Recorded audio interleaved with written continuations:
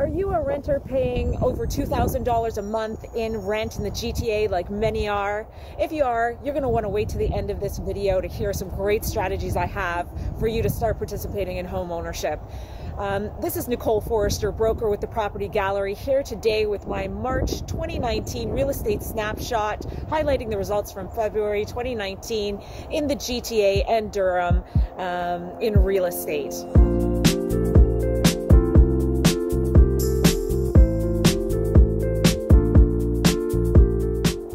Highlights. Sales were down in real estate in the GTA in February 2019 by 2.4%. The average price of a home continued to climb 1.6% from 767,000 to 780,000 year over year in February.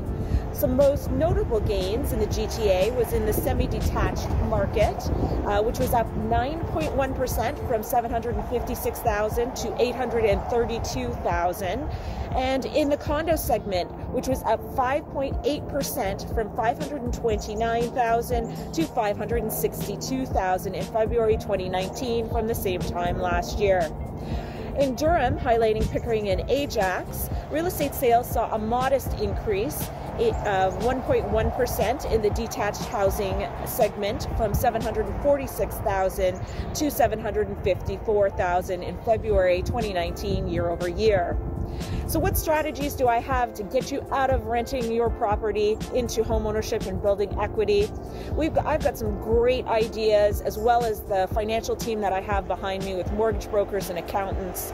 We've helped people commute pensions into locked in RSPs and use those as their uh, first time home buyers plan to put a down payment. We've helped people reduce their minimum payments on debt that they have so that they can use the remaining cash to save for down payments. Have you ever thought about purchasing a condo or an affordable home in an area that you might not want to live in to um, start building some equity um, and have a have a tenant pay you as a landlord so you can build some equity until you can purchase in an area that uh, uh, that's your preferable location.